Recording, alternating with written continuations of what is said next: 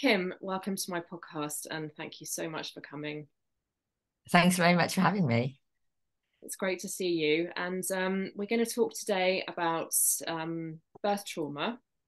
And in particular, we're going to talk about what people need to know about trauma and also about consent, um, which are two really, you know, um, vital topics, I think. So, yes, definitely.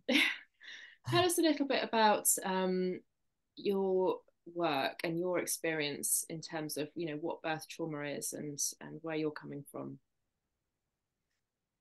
Well i, I work for the birth trauma association so um, we're a charity that supports uh, women who've who've had a traumatic birth and are suffering psychological symptoms as a result of that. Um, we do also support partners and, and, and dads as well. Um, and and so I, th- I think what's interesting about our organisation is we're, we're probably the first to kind of um, support that kind of group of people because for a long time it wasn't recognized that birth could be traumatic. You know there's this there was this idea that birth was always a joyful experience and therefore you couldn't possibly be traumatized by it. Um, and in fact in, in the 1990s and early 2000s there was a kind of shift as professionals started to realize that actually for a lot of women birth was intensely traumatic. And, and so our charity was set up in 2004 um, in, in, in recognition of that and to, to um, provide a service to those women who who did feel traumatized by birth. And and one of the things you quickly realize is there's an awful lot of women out there who find uh, that their experience of birth has left them feeling um, immensely distressed. Um, quite often with PTSD, um, we think they're well, the research shows that about four percent of women who give birth go on to develop full blown PTSD.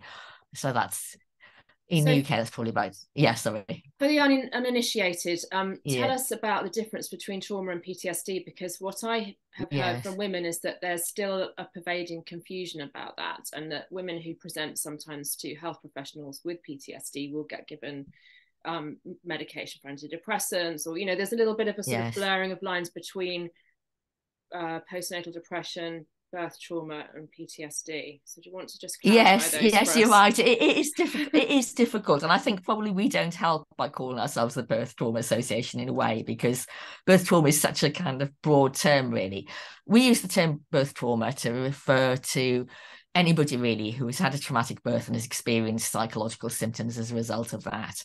Um, and the thing about PTSD, post traumatic stress disorder, is that you have to have a very specific set of symptoms to have a diagnosis. So there are kind of four categories of symptoms, which are um, sort of intrusive memories, you know, sort of flashbacks most typically, um, and you know, anxiety, so that kind of feeling of being very anxious or on high alert, um, avoidance, where you avoid any memories of the trauma or anything that reminds you of the trauma, and then negative cognition, which is quite a broad category that um, really refers to kind of feelings of guilt or sadness um, relating to the trauma. But a lot of women after birth might have some of those symptoms, but not all of them. So they don't qualify for PTSD diagnosis. So they might feel intensely anxious, for example, or they might, you know, they might be constantly worrying about their baby, or they might avoid going into situations that remind them of the birth, but they're not, they don't qualify for PTSD diagnosis. So we use the term birth trauma to accompany um, so to cover all those things because obviously if you're experiencing any kind of symptoms really then you, you're in need of support and help yeah, um, and when and it comes to I was going to say those are all all of these things that we're talking about are just labels that we're giving to you know what oh absolutely kind of absolutely yes variety yeah. of human experiences and emotions and feelings yes. and we're just trying to give them labels to sort of in yeah. order to find routes of help but in in other ways sometimes those labels can be unhelpful because they yeah. make some people maybe feel like oh i don't fit all these criteria therefore i i'm not officially you know struggling mm. yes oh absolutely I, I can I, I, agree completely you know this idea of ptsd i mean in, in a way it's a human invention in the sense that you, it's almost arbitrary to me that you decide which symptoms qualify for a particular diagnosis and a diagnostic category and which ones don't. Because if you're feeling distressed and unhappy and it's affecting your ability to live your life normally, then then then you need support. It doesn't really matter what you call it. You still you still need that support. Um, and I think, I mean, you asked about postnatal depression, and quite often after traumatic birth, women do experience postnatal depression as well. Again, that's just another label that, that we give, really. Um, but there's often an overlap as well. A lot, but I, th- I think it's something like half of women who qualify for PTSD diagnosis also qualify for postnatal depression diagnosis. And and one of the things we find is that GPs who are not really um, aware of PTSD um, postnatally or don't understand about trauma will often misdiagnose women's symptoms as depression um, when actually they're, they're trauma symptoms. And that it, that can be quite difficult because women quite often say to us, "Oh, I, I knew I wasn't depressed. It didn't feel like depression. It was something else, but they didn't know what it was." And and it turns out that that what they have is, is, is symptoms of being traumatized. Yeah, and antidepressants are unlikely to help you in that situation. Yes, exactly. Yes, antidepressants are not what you need in that situation. No. So, coming to another label, birth trauma itself, um, what do we mean mm. by birth trauma? I know that's a difficult so, question. yes, it, it, it is. A, it is a difficult one, and and so we we tend to kind of adopt quite a broad definition, really, which is we say if a woman feels distressed and traumatized by birth, then that then she has birth trauma. So if she had a traumatic birth experience, um, and and and she feels she suffered as a result of that experience, then we we we use the term birth trauma. And I suppose the thing I would say is that any birth can be traumatic. So we don't kind of say you can only have birth trauma if you thought you were going to die, you know, or if you had an emergency cesarean. Sometimes what looks like a straightforward birth from the outside can be traumatic for the woman for a variety of reasons. And so if she feels traumatized, then yeah. as far as we're concerned, then then that's birth trauma yeah i think i phrased that question the wrong way around with my my pre-coffee brain but i think what i meant was what do we mean by not by by birth trauma but by traumatic birth? So uh, oh by traumatic birth yeah, yes yes my fault yes. saying that question backwards. No yeah so yeah so i i i i mean i think you know birth can be traumatic for all sorts of reasons um and and they're often to do with something going wrong that results, for example, um, in an emergency cesarean, or say, um, you know, the, the, baby has shoulder dystocia and has to be, be, delivered very fast, and that's often very traumatic, or forceps birth, all those things, postpartum hemorrhage. Um, I mean, there's a range of things really, but it, it, it's more to do with how the woman feels about the experience than what the experience itself was. Um, and and I think one of the most common things for us is the, the, the, there's the combination of, of something going wrong during the birth but it's more to do with how she felt she was treated by staff and, and that's a kind of really common theme is that kind of feeling of not being cared for properly um, something was going wrong but nobody was telling her what was happening or staff weren't listening to her or they were performing procedures without her consent. So the whole process feels as if she isn't an agent in, in what is happening to her. And uh, and that's actually quite a well-known cause of trauma, um, generally not not just in birth.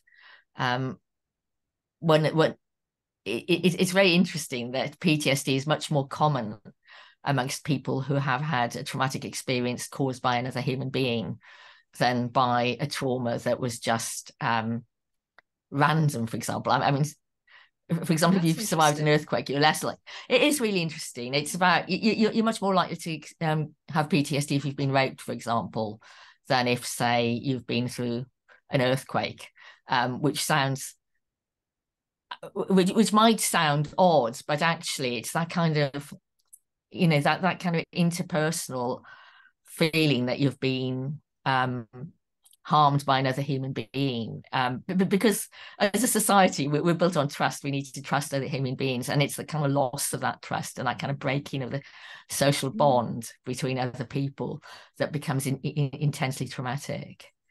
And and on that note, um, there are women who have birth trauma who, if you looked at their birth on paper, it wouldn't sound traumatic. It would sound like mm. everything went that just as they wished it yeah. to go. So what's yes. happening there with those? Could you talk about a bit about those women? It, it's quite often that, although it seems fine from the outside for the woman, it wasn't what she was expecting, and there were things that happened that felt out of her control. Um, I mean, what one one of the things we find is that sometimes very short labours can be really traumatic because they happen so fast that the woman feels she doesn't know she doesn't know what's going on. She's completely out of control of her body. You know, she's been taken over by an, another force in a way. She doesn't have time to kind of think about it. It, it, it just sort of happens. And, and, it's kind of made worse because people always say, "Oh well, you know, you were lucky you had such yeah. short labour," and for the woman, it was a really, really difficult experience. Um, but often it's that kind of sense of not knowing what's going on, um, having things done to you without your consent, um, not being told what's happening and not being listened to. Those are the themes that come up time and time again. So that even if the birth feels or appears to be straightforward from the outside, that actually for the woman she's felt completely as if she's she's not been in control of that experience.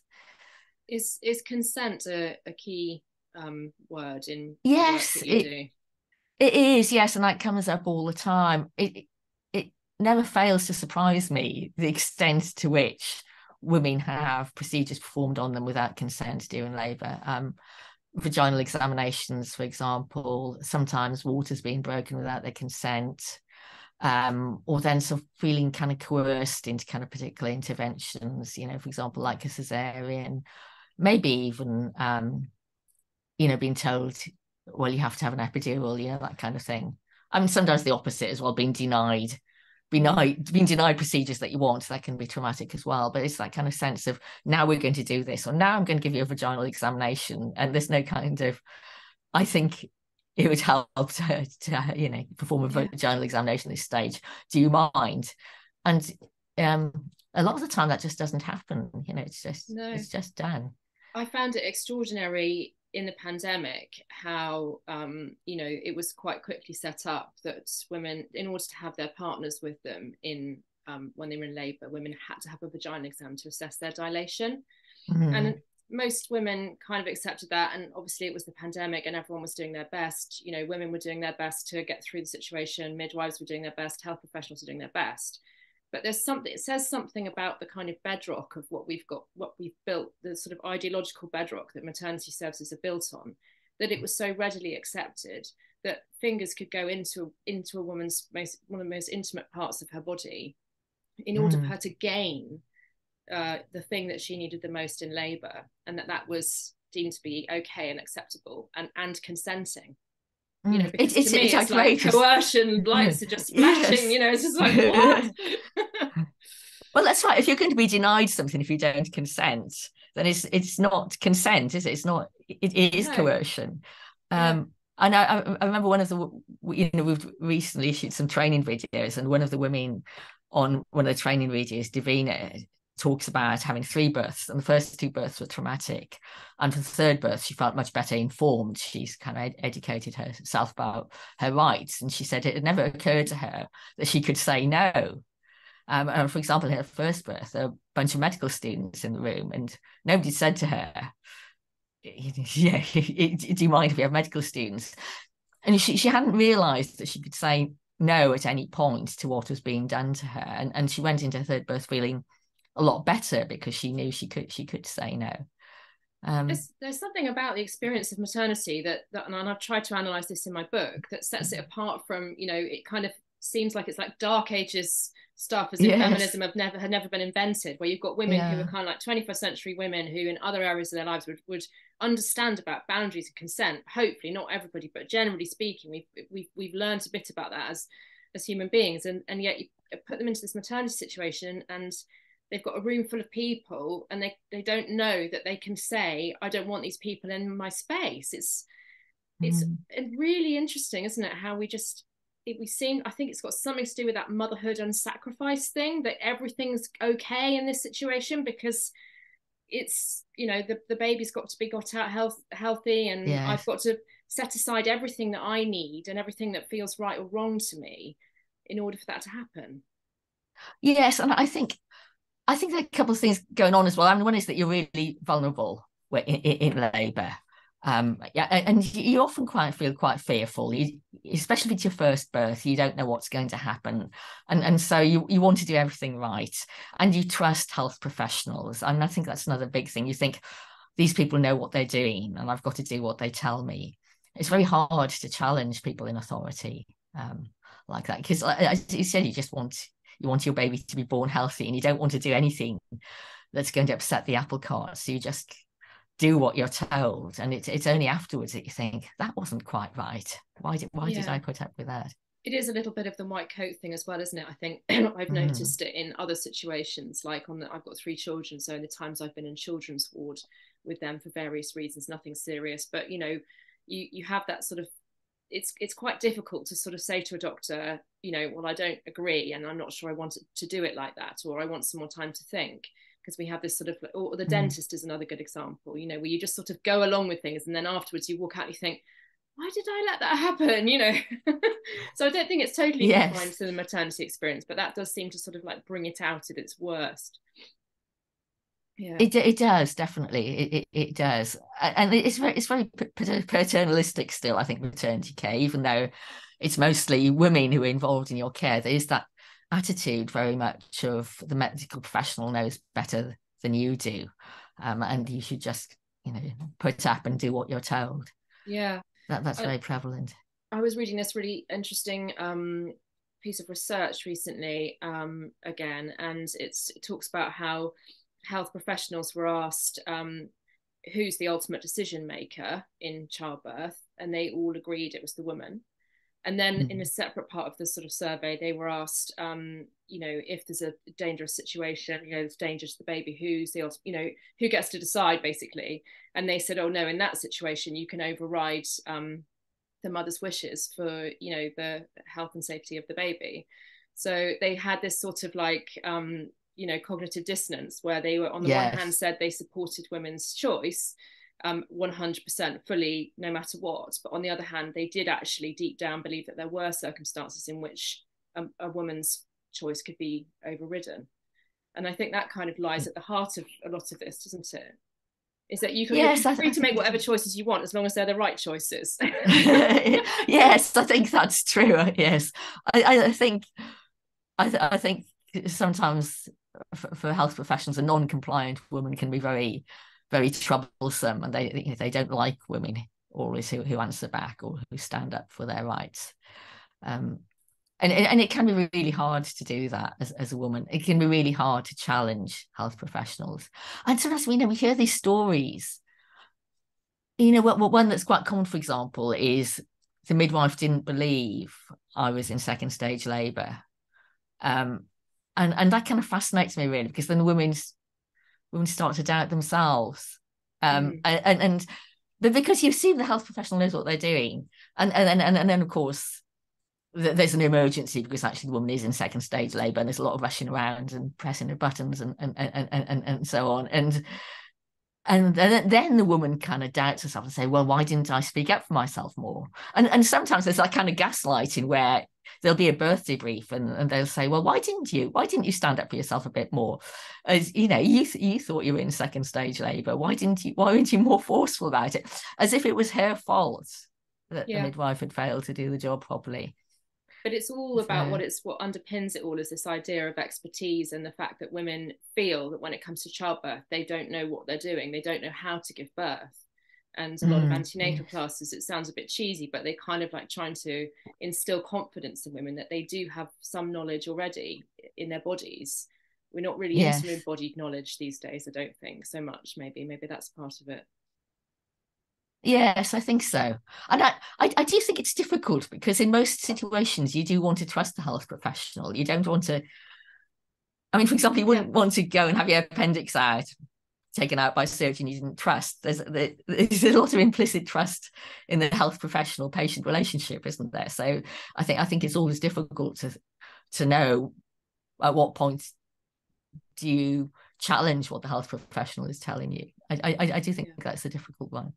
Yes, it is. It is. And I think, I mean, I always say it's not about always challenging all the time what the health profession is saying. It's about knowing that you can, because that yes, that yes. should be underpinning everything. A bit like, um, you know, I use the um, example of consent in the bedroom um, in your sex life. So even if you've been with your partner for 20 years and you've never said no to them, you might, you hopefully have something there that, you know, if you did say no, they wouldn't just keep going anyway. So, you know, you, you even though you're not exercising the right to say no, you still know you have it.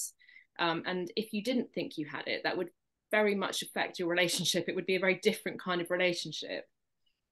And I think yes, in maternity that's, care, that's we have that yes. relationship. A lot of women have that relationship with their care providers where they actually don't realize that they have the right to have bodily autonomy and, you know, to say no if they want to. Not that they have to go in all guns blazing, you know, pow pow pow. You know, I read Milli Hill's book and she said you've got to say no to everything. people say, I'm like, yes. no, that's not what I'm saying. I'm not saying you have to say no. I'm saying you should know that you can if you want to. Yes, I think that's really important, and that the health professionals understand that as well. I think that's the really important thing that they have that respect for the woman, and they respect her right to say no. Yes.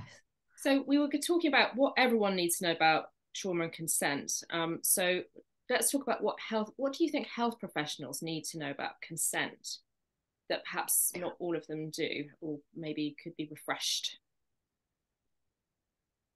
I think they need to understand that they shouldn't be doing anything that doesn't have consent.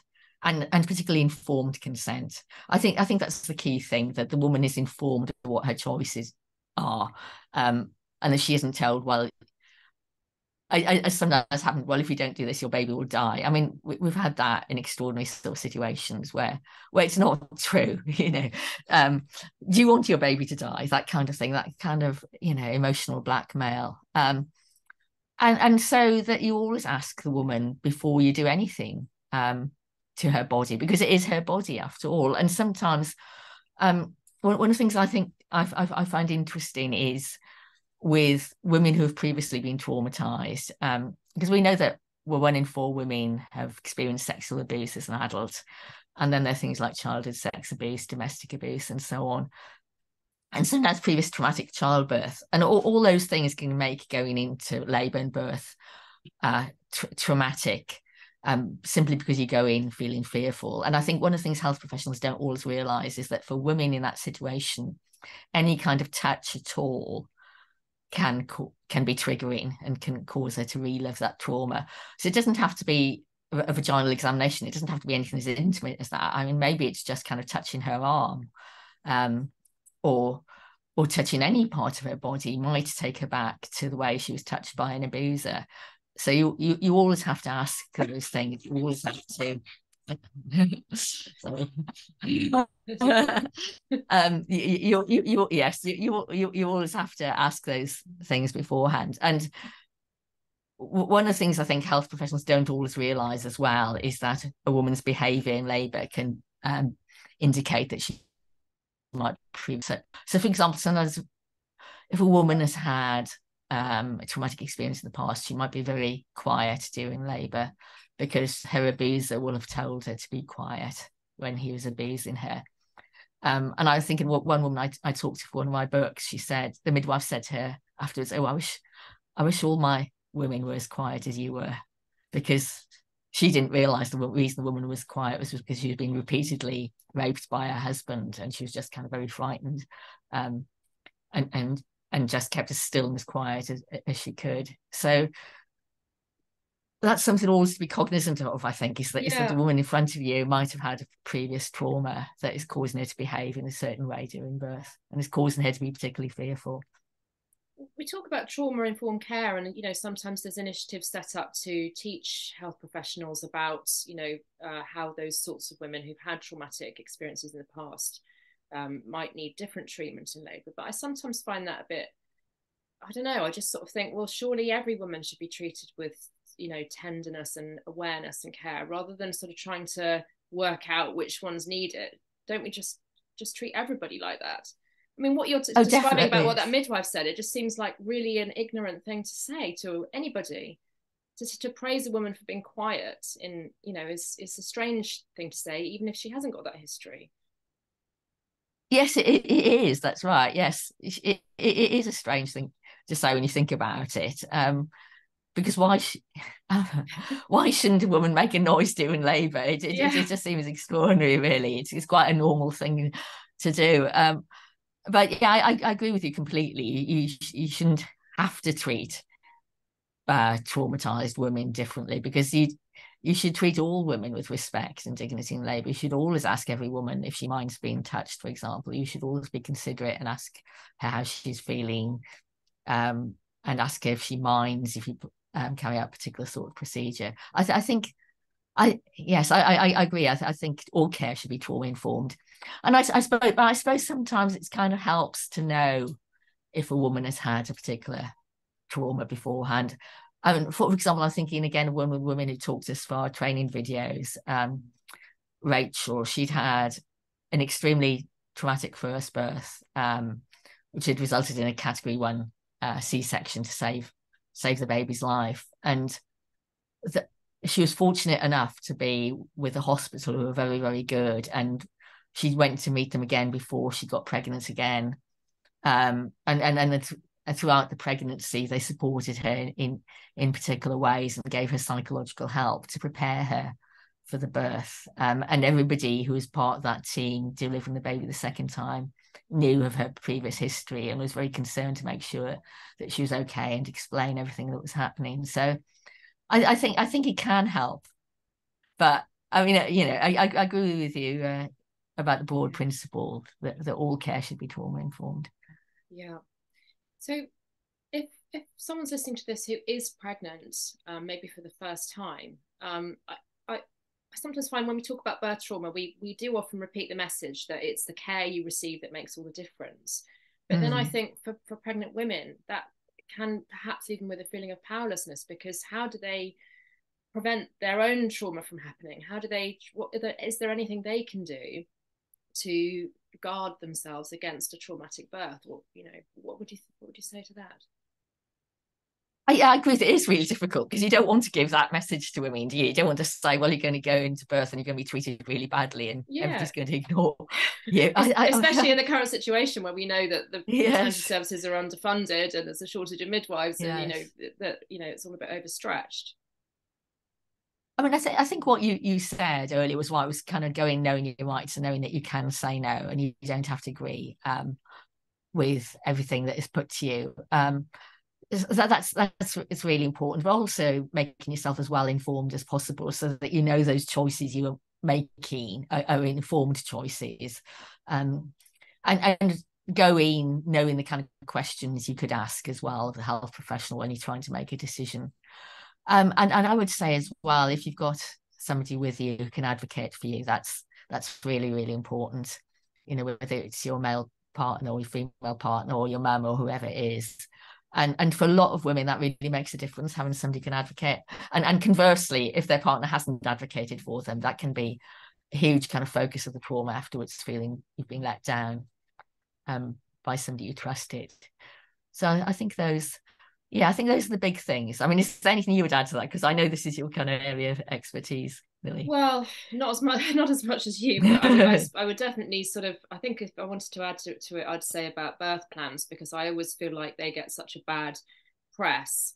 You know, um, in in terms of women being told how pointless they are and how they should just go with the flow. And I always think, oh, whenever I hear a woman being told that, I think, oh, please don't go with the flow because you know that's again it's part of that, that that feeling of being out of control that can lead to feeling traumatized and you correct me if I'm wrong about this, but my understanding is that if you if you've got some um, confidence yourself from the preparation that you've done, then you, that could mitigate against that in some way. And I think birth planning, you know, rather than the sort of the idea of it is like, oh, this silly woman with her laminated thing, or she's written it all in a in marble on a rock, and she's come in and she said, "This is what I want." For me that's not what birth planning is really about. It's more about the process of getting informed and about thinking you know about the different forks in the road. And if it's so say i have to have this what then what do i want to happen? And all of that sort of like the same kind of way that you would plan an event. You know you might think well we're all going to go out on the lawn and have champagne but you know what, what if it rains? You know you think about all the different situations um, in, in any other area of your life you would think through what you wanted. And uh, for me i think that's got to be a helpful thing to do in the current system. I, I think I think that's right, and I remember sort of talking to a midwife from um, Magnolia Midwives, who is a unit in at North Middlesex unit who specialise in, in trauma informed care. You know, they have a lot of women coming to them with previous trauma, you know, refugees and so on. And she says they they go through the birth plan in great detail with women, and but they all have a kind of birth plan A and birth plan B, and sometimes a birth plan C as well, because you have to bear in mind that things don't always go to plan uh, during birth. Yeah. And I, I, think that's quite reassuring if you've got a midwife who'll do that, who'll talk through those options with you. I, I one of the most dispiriting things you hear is that you know, is when women say, "Well, they didn't look at my birth plan," and uh, you know, she's gone to all that effort to make a plan, and then the midwives or obstetricians haven't haven't read it. Yeah, there's a long way to go on that one, I think, mm, um, in terms yes, of attitudes yes. towards you know women saying what they want in birth, and that sort of how that disrupts the power dynamic um, yes. perhaps in the same way that having a doula does as well. And all of these things that get the the Mickey taken out of them, like birth plans and doulas, mm. are usually the things that disrupt the power dynamic. I think so. There's a reason why they can. yes. yes, I agree. Yes, yes. Worried. But yes. um, just um, moving on to the other side of the coin. So for women who have experienced a traumatic birth, who might be listening to this, um, what can they do I think I think if they experienced oh, what if they experienced traumatic birth and they want support, not yeah, not if they're I mean, going into uh, yeah. Well, I suppose I'm thinking yes. of two things. I'm thinking of for me, I'm mm. thinking of what where can they get support, but also another thing that I'm quite passionate about is complaining. So I wanted to you mm, yes, about that. Yes, okay. yeah, sure. So in terms of getting support, well, obviously they can come to us, the Birth Trauma Association. Um, we've got a team of peer supporters who answer emails and uh, and, and answer, the phone as well. Um, they've all had traumatic birth, all been through their own recovery, so they're very good. And we've got a Facebook group uh, that has thousands of members where you can share your story. And obviously, being heard, I think, is an important part of recovery from trauma. But we'd also say, um, if this is affecting your your daily life, then um, have therapy, um, and your GP should be able to refer you to a therapist. Um, and you know, there are two treatments that work really well. One is trauma focused CBT, and the other is EMDR, eye movement uh, desensitization and reprocessing. And, and they actually, they're very intensive treatments, but they do work really well and they really do help women recover from trauma. And in terms of complaining, yeah, I definitely say go for it. Um, it can be frustrating sometimes because sometimes hospitals will minimize uh, the trauma they've caused. Um, but I think if you don't complain, then you don't you, you know you're never going to affect change so i think it is always worth complaining um, and go to the hospital website and read up on the complaints process there and then write your letter I, I, I would quite often suggest if you can writing directly to the ceo rather than going through pals um, because it's just more effective actually to go to the person at the top than it is to go uh, go through the pals process what about time but, limits uh, around complaining um, do you have any thoughts on that? Well, in a, a, lot of hospitals will say you should complain. You need to complain within a year, um, but in practice, uh, in practice, they will often take complaints after after the year has passed. Because actually, during that first year, you you might not have the time to complain. You might not have processed your trauma, and you're looking after a new baby. Yeah, you, are exhausted. Who's got the time to sit down and write a complaint letter? So, um, there shouldn't really be a cut-off point, should there? At which no. point a hospital says we don't want your feedback anymore about this thing that happened two years ago or three years ago, because even if it can't be dealt with through some kind of, you know, official process, it still ought to be heard and read and responded to. Is my feeling.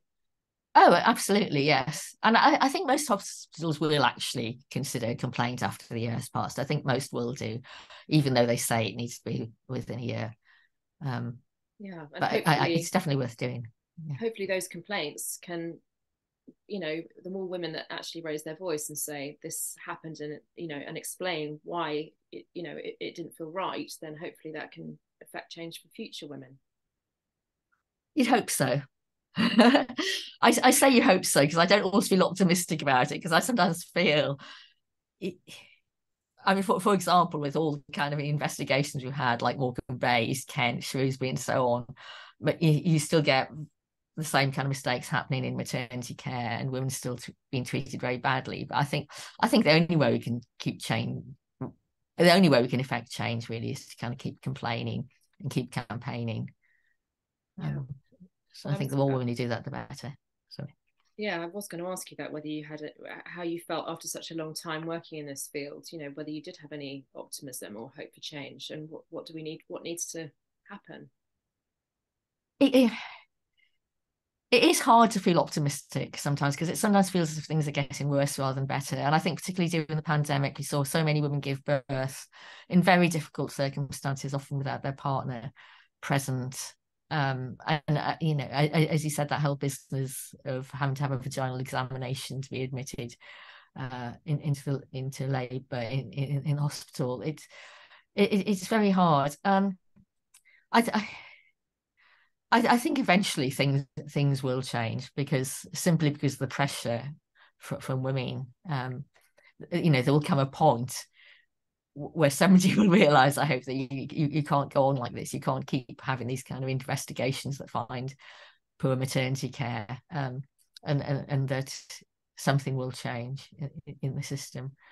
But it is it is a long, hard slog, I think. Mm. Well, I hope you're right. Um, it's been fantastic talking to you today, and um, there's so much more we could talk about. But you've really informed us with um, with your uh, knowledge and wisdom on this topic. So thank you so much for coming on the podcast. And um, thanks very much for inviting me on.